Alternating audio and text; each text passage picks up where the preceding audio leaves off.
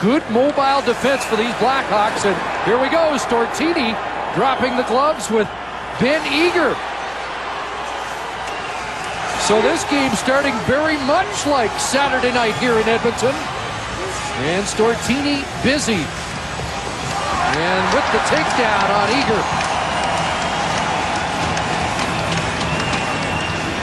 Have to, gonna have to wait his turn and get himself back into the lineup. Well, he did a good job against Vancouver in nine minutes. Now, right here, he's yelling at Ben Eager. He's saying, come on, are we going to do this? He slaps his stick on the ice. I could hear him yelling to Eager. As soon as Eager turns around, the gloves go down.